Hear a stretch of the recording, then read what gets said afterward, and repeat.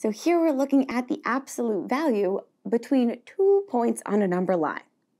So to get us started, we want to begin by letting a and b be two real numbers. Now, the distance between these points a and b can be defined as follows.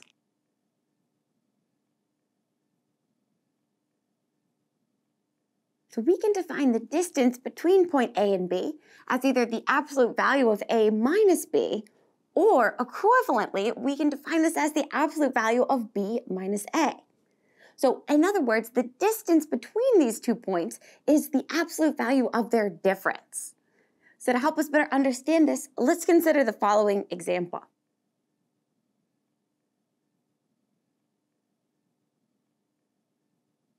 So in this example, we are asked to write an absolute value expression to represent the distance between the points negative 3 and 4, and then to take it one step further and actually find the distance between these points. Now, keeping our definition in mind, we know that we could do this one of two ways. So to really drive home that these are in fact the same, let's consider both ways.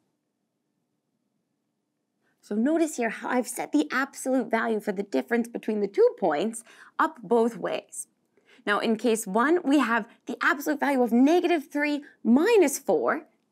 So this is leaving us with the absolute value of negative 7.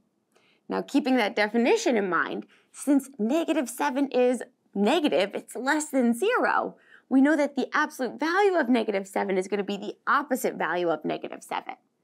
Or in other words, minus a minus negative 7, and a negative times a negative will produce a positive value, leaving us with a distance of 7 units.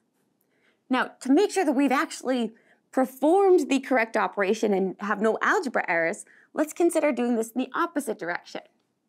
So here we have the absolute value of 4 minus a minus 3.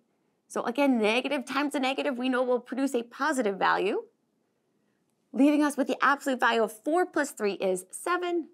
And since 7 is non-negative, we know the absolute value of this number is the number itself. And lo and behold, we have the same distance.